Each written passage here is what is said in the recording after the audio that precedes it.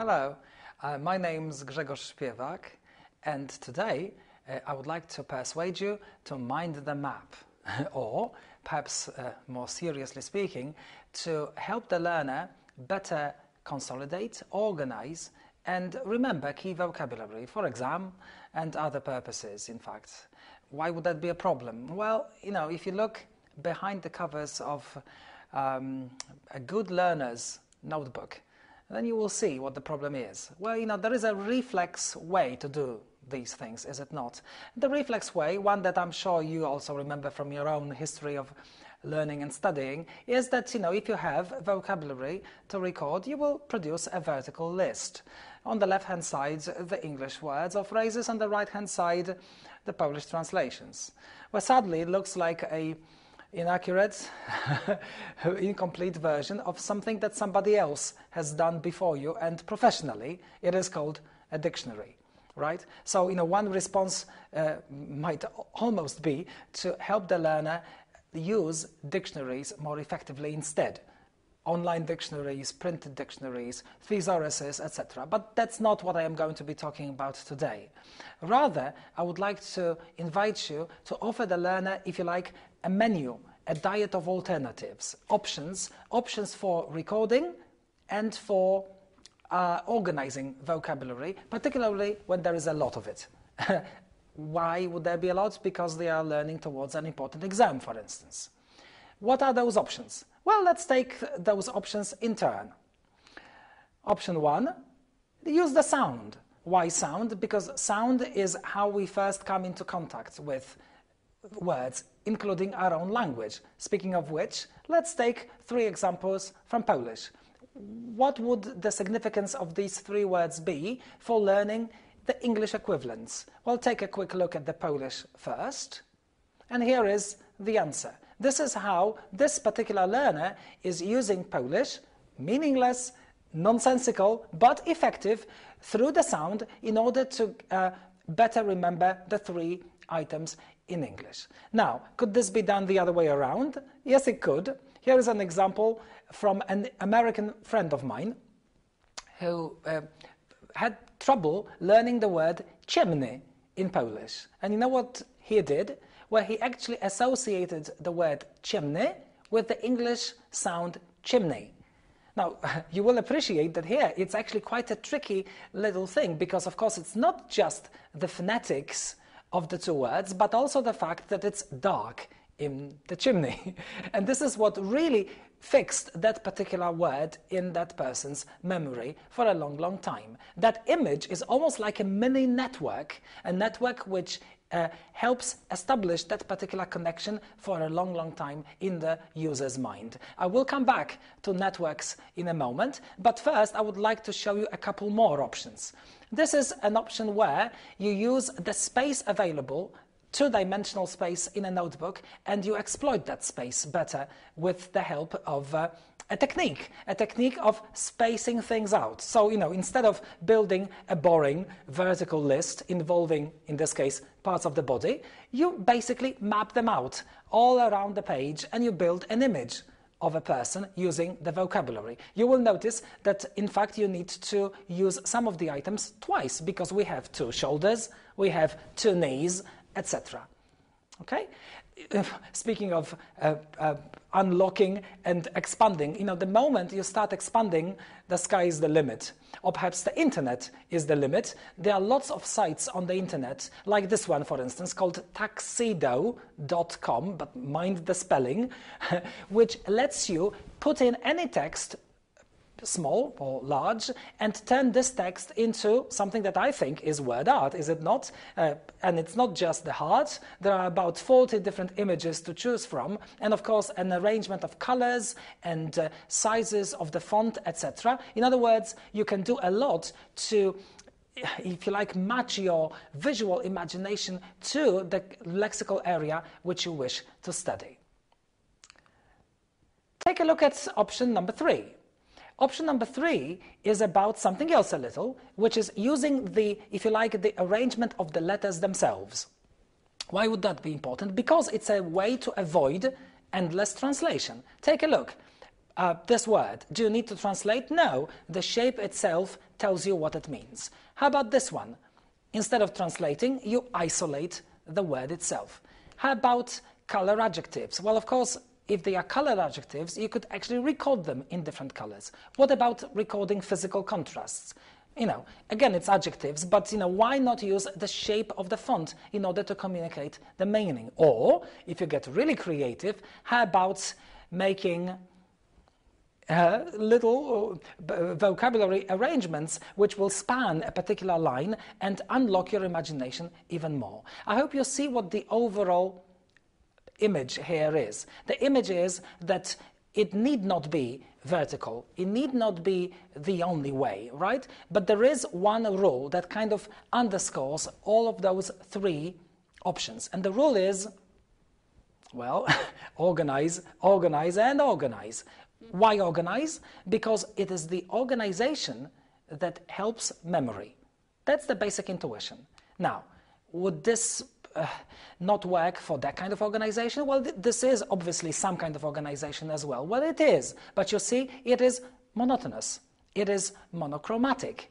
In other words, it is an organization which, in a sense, only uses one type of analytical skills that the brain possesses.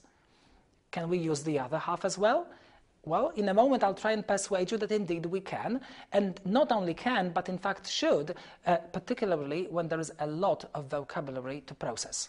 Why a lot? Because there's an exam happening in one, two, or three years' time, and the exam involves, as you know, not one, but 15 main lexical areas. This is just a sample of one such area, and of course, this sample needs to be multiplied by 15. In uh, uh, any lexical area, if you look at the actual vocabulary specification, there will be around 200 words. So, if you now multiply by 15 lexical areas, you will end up with a rather um, daunting stock of about 3,000 items which the learner needs to actively uh, insert into their memory. So how can this be done? Well, it's a question of, uh, if, you, if you like, going beyond just the left brain, right? Left of itself is not right. So how can we make the left and the right work together? Well, by perhaps, again, showing the learner a technique which will not be a one-off, a technique which they can use on a systematic basis and start building their vocabulary stock in a way which reflects the way that the brain actually naturally wants to learn it. How? Well, let's take one example. This is, if you like, the same list, the one that I showed you uh, a bit earlier on, uh, but transformed into a partial word map. Why would that be a good alternative? Because that kind of word map is actually inspired by a technique introduced some time ago, a technique which was not invented for language learning as such, but a, te a technique which was used to, record and organize knowledge of various kinds. This technique, you will not be surprised, is the technique of mind mapping. What's mind mapping about? Well, notice that uh, the basic thing here is images and links. Why links? Because it is the links that create the connections, just as the brain creates the connections. Take a look at my example here. What's the connection between the idea of mind map and the beetle? Well, the connection, of course, is uh, not complete yet. So to fill in the missing node, I'm going to introduce you to the work of Tony Buzan, the one who is credited with the technique of mind mapping, but in fact he only made it popular. Popular when?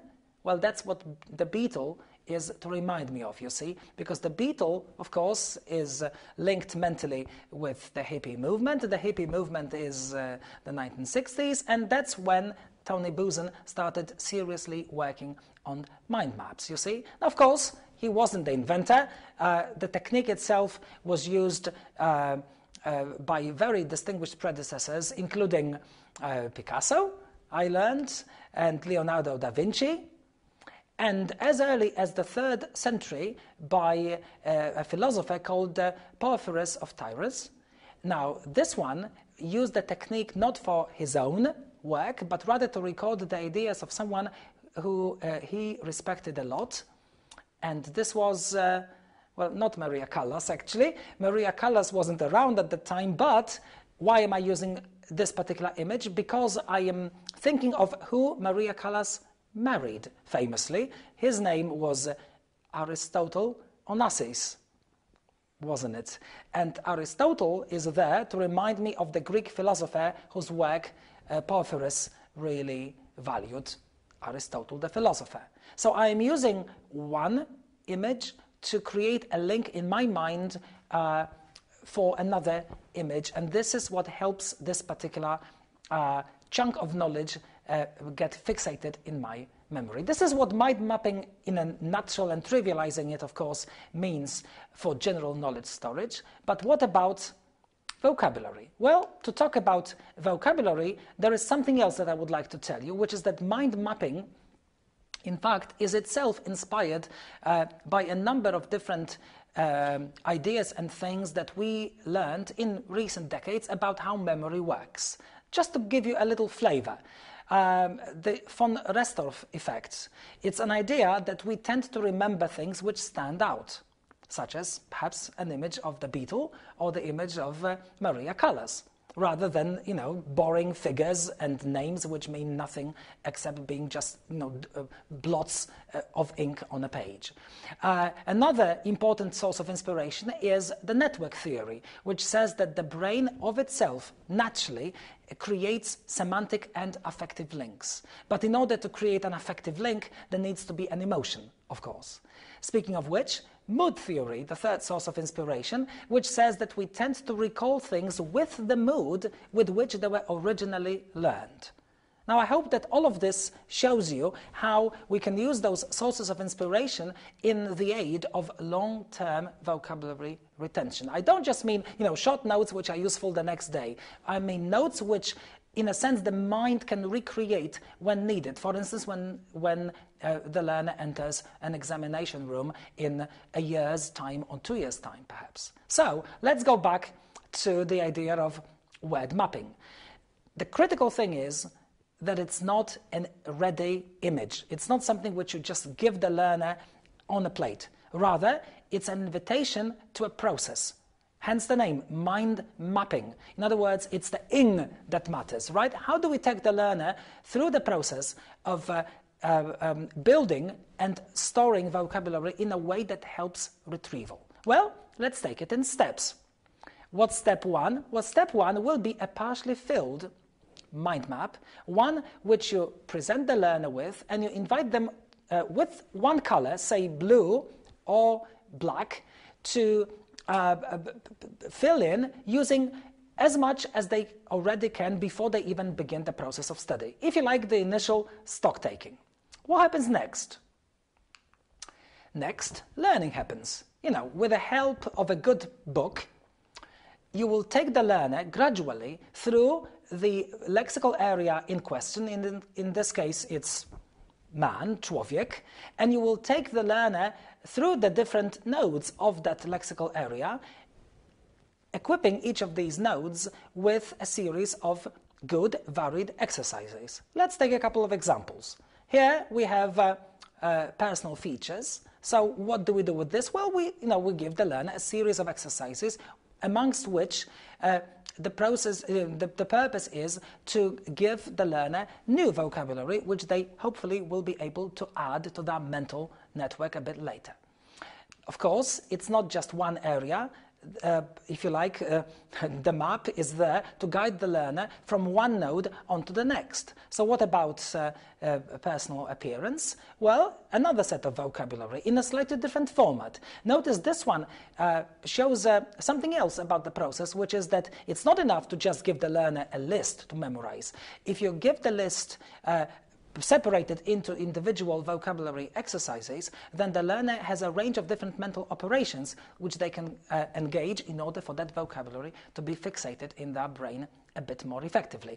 Involving, for instance, the sorting. Sorting is very important. Categorization of any kind is important because this is extra mental effort which helps long-term retention. And so they are being taken from one node of the map onto the next. Speaking of which, uh, let's look at just a third example of it.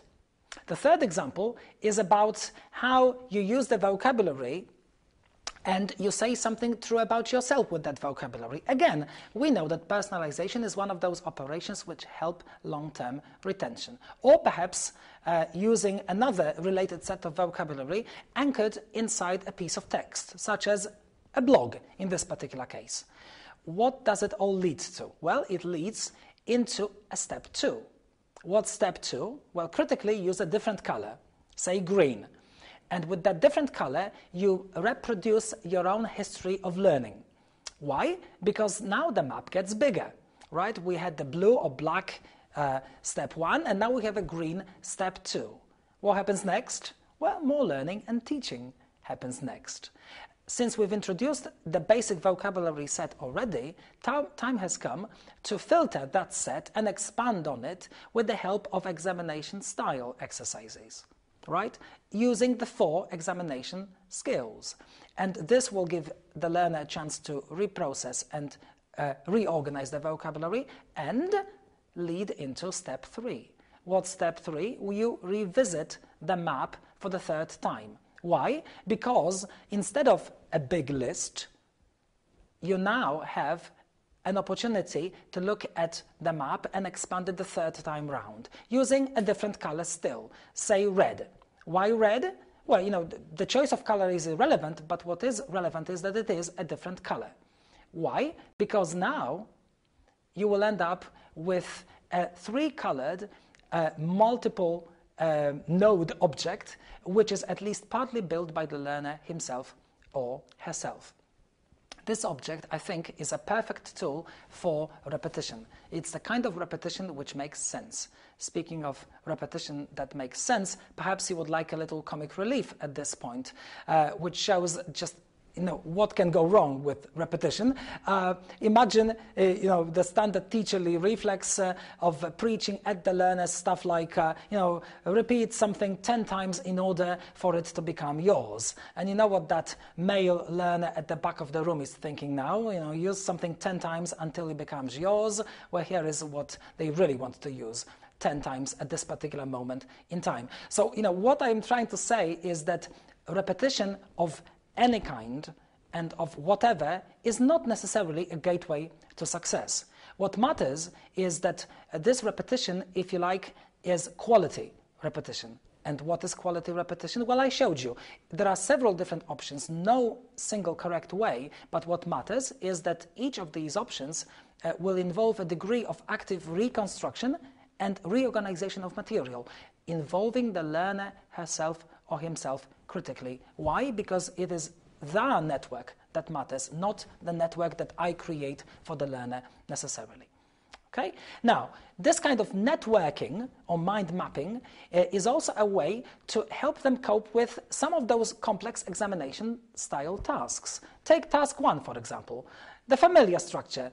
Uh, the structure where you have a mini scenario and four items to cover. Now, if you think about this and look at it from a sort of visual perspective, doesn't it not look like the beginning of a mind map almost? Well, with one important proviso, however, the proviso that you will not give everything on the plate for the learner. Right? So my idea here would be that with a task like task one, why not we withhold the four speech items and invite the learner first to predict what's going to come into the bubbles. Now you might say, well, will they be able to? Well, that's my intuition. I think they will, because most of those scenarios are in fact quite predictable. This one says, you know, you work at a reception area, it's a summer camp type of thing, you sell language or some other type of course, and you have an English speaking customer ringing you to inquire about, well, inquire about what? Well, that's the four speech bubbles. Is it that difficult? Well, you know, yes and no. It might be quite difficult in an examination room, but that's where exam preparation, true exam preparation, comes in, right? We can help the learner predict. We can help the learner build the kind of network, particularly that in the examination room there will not be time to take any physical notes. So let's take mental ones, right? What kind of things? Well, you know, a customer is ringing. What will they want to know about? Probably about what kind of courses you offer who's going to be teaching these courses, uh, you know, when one can enroll, how much it's going to cost, and perhaps what it is that they are going to learn at the end, right? You know, not rocket science, no doubt,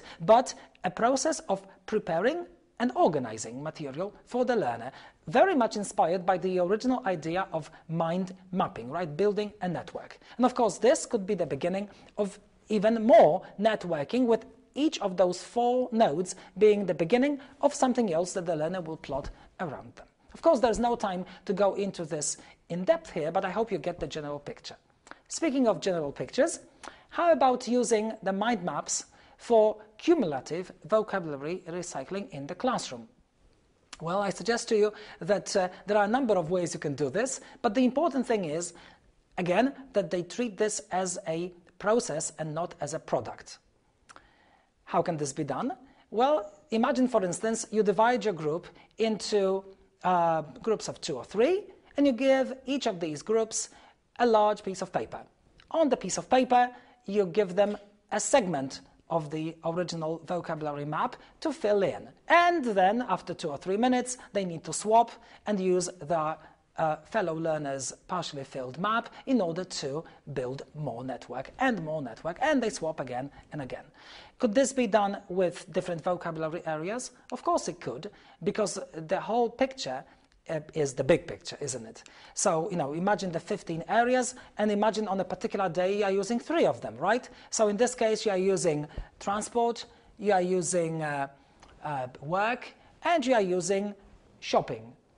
With the three, you can get the learners now in small groups to work on their own individual maps, then swap and repeat the procedure. I hope it makes sense for you as a in-class revision technique inspired by the same overall approach and methodology. Last but not least, revision itself. Revision either to be done in class or individually. There is lots of revision to be done, we know that. But could we not use the same technique? The technique of uh, working with a partially filled lexical network? I think we could. Here is one example. Uh, an example where a segment of a vocabulary map is um, unfilled to a certain extent, and the learner needs to provide the translations from Polish into English. Or, to use another vocabulary exercise type, uh, the learner here needs to do a bit of multiple matching using the words in the box and putting them in the appropriate places in the map. Or perhaps take one more example, fill in the missing letters in some of the words on the map. Now, all of this, you might say, is all very nice, but how can I get enough material to build this into a program on a systematic basis? Well, the answer is you can now, with the help of a great new piece of free software available on the Macmillan website. The software is called Word Mapper, and it's there for you to generate as many partially filled uh, word maps as you want on any of the 15 examination topics and using any of the uh, vocabulary exercise types that I showed you, plus a few more. Here, of course, there is not time or place to take you through all of this systematically, but if you go to the website, you will also get short, very easy tutorials which will guide you step by step through the process. Basically, what I'm trying to say is that it all is about the kind of teaching that actually causes learning. Teaching which is about exploiting the natural potential of the brain. And speaking of the natural potential of the brain, let me finish by quoting Tony Buzan, one more time. Uh, in one of his very famous publications, he argues that it is through the exploitation of those natural brain powers that we can help the learner to actually come into the process of learning and come off with a number of positive emotions. And that's uh, my humble wish and thought that I would like to conclude with. I hope that we are together going to generate a bit of extra joy of teaching and perhaps also some joy of learning. Thank you very much and good luck.